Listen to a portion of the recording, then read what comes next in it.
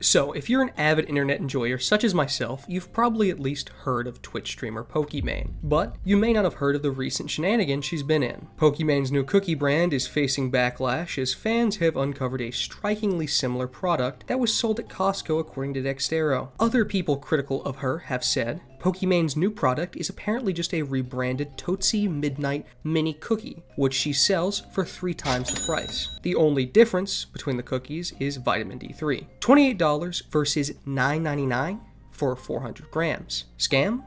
So, what they were referring to is a brand of cookies that was being sold at Costco for $9.99 at 14 ounces a bag. And if you go to Pokimane's website, you can see her cookies are $28 for four bags of cookies. Each bag is 4 ounces. And you can't even purchase a singular bag. It has to be a bundle of 4, 8, or 12. I just wanted to add, on the website, there are comments, and these look fake as fuck. I have no proof, but these names seem fake. All of them are formatted in the same way and sound exactly the same. Plus, they're all singing pretty high praise for Pokimane's cookies. And now, I don't have any proof, like I said, but it, it does look funny. And, uh, you know, they may not be fake, but I just wanted to point that out. Well, supposedly, they're also not her cookies, because they may be coming out of a third party manufacturer called Creations Foods, using a method known as white labeling. White label products are sold by retailers with their own brand and logo, but the products themselves are manufactured by a third party. White labeling occurs when the manufacturer of an item uses the brand requested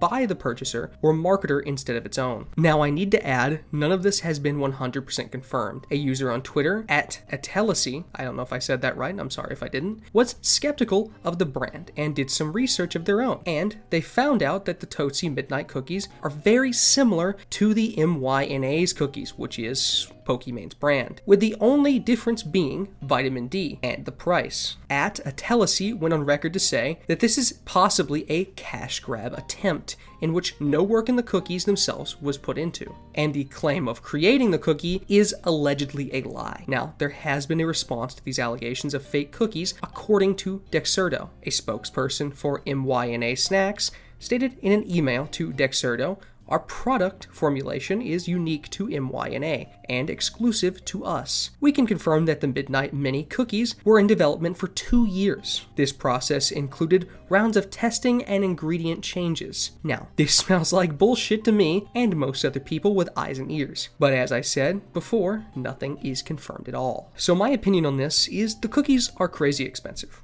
and super suspicious. I also don't see how these would ever be worth it for the price. But I know for a fact that the Pokimane Tier 3 subs are already on their way to spend the rest of their life savings on these overpriced cookies. And I don't have a problem with these being white labeled or even that they're overpriced. A lot of YouTubers do the same thing. I just thought that this was pretty funny, especially how Pokimane is branding it like she's been in the labs with her co founder every day for two years, finding the perfect balance of sugar and chocolate to make the perfect cookie when in fact it's most likely being made by some overworked minimum wage employee, just like most content creator brands and merch. That's all. See you next video.